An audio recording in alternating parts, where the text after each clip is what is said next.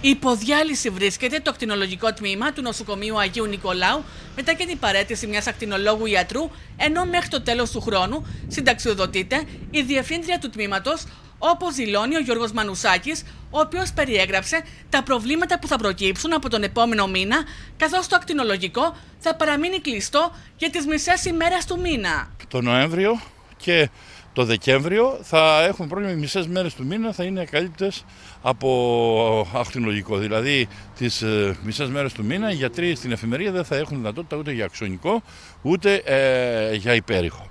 Θα μιλάμε για ιατρική της δεκαετίας του 80. Η σύγχρονη ιατρική και ειδικότητες όπως είναι η εσωτερική παθολογία, η γενική χειρουργική, η ορθοπαιδική, αλλά γενικά κάθε ειδικότητα είναι αδύνατο να εργαστεί ε, χωρίς ε, υποστήριξη ακτινοδιαγνωστική.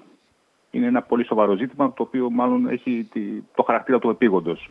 Όπως υποστηρίζουν οι εργαζόμενοι, η δυσλειτουργία του τμήματος θα διαταράξει συνολικά τη λειτουργία του νοσοκομείου, ενώ τα τμήματα που θα επηρεαστούν άμεσα είναι μεταξύ άλλων το ΤΕΠ, η χειρουργική και ορθοπαιδική κλινική. Ε, Πολλές φορές έχει χρειαστεί να μετακινηθεί ε, περιστατικός στο Ηράκλειο για να γίνει η αξιονική τομογραφία. Από την αρχή του επόμενου έτους ενδεχομένως να επιδεινωθεί το ζήτημα γιατί η διευθύντρια του τεχνολογικού ε, βγαίνει σε σύνταξη.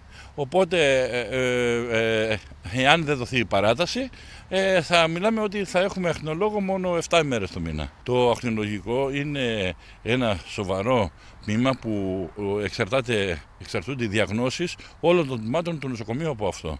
Πρέπει δηλαδή άμεσα να βρεθούν ε, λύσεις, ε, δεν ξέρω, είτε με προκήρυξη επικουρικών ε, γιατρών, είτε με τη διαδικασία του επίγοντος να προκυρηθούν νέες θέσεις, είτε να έρθουν γιατροί από το Ηράκλειο, κάποιοι αυθυνολόγοι να βοηθήσουν ε, πρέπει να δοθεί άμεσα λύση γιατί οι εφημερίες είναι αδύνατο να γίνουν χωρίς ε, αξιονικό δομογράφο και χωρίς ε, αλλούς ε, υπερηχογραφίστες.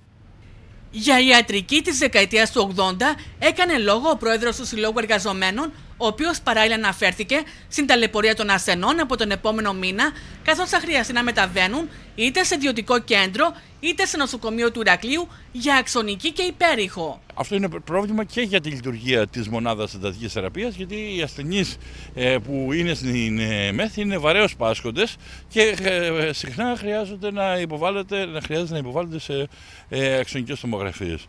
Πολλά έκτατα περιστατικά θα πηγαίνουν στο Ηράκλειο, ναι.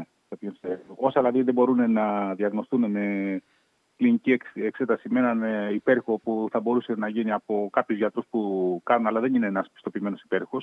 Δηλαδή, υπέρχο ή πιο πολυιατρικά, αλλά δεν είναι κάτι επίσημο. Θα είναι μια ταλαιπωρία, θα είναι και μια κατασπατάληση πόρων του συστήματος και ανθρώπινων αλλά και οικονομικών πόρων.